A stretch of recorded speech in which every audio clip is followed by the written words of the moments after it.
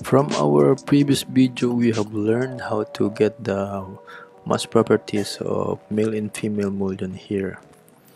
Now let's check this if these two are in regions. Yes, they are two regions here. We will get the mass properties of these two.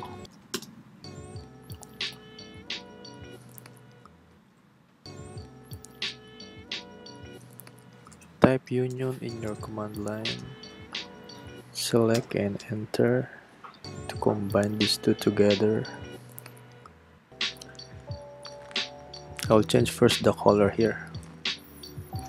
And type in mass properties in your command line. You will just repeat the process here. Look at here, the centroid is not in 0, 0 so type in C for circle. You copy the X and Y axis here. Paste it here. You paste first the X followed by the Y axis to get the center of gravity of this mullion here. Copy here click shift right click go to the center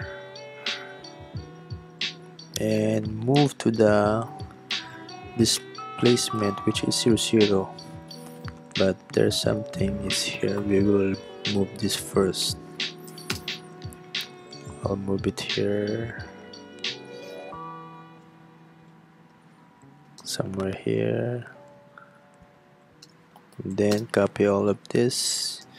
Shift right click. Go to the center.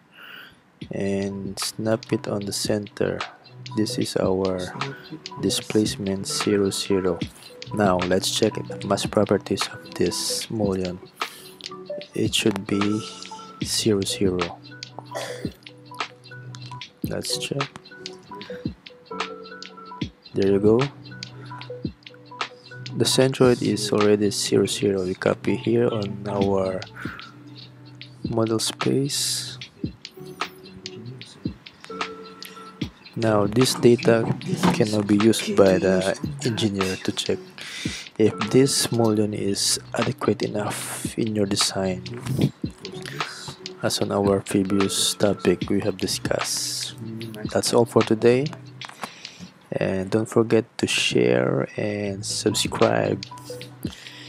Thank you. Bye bye.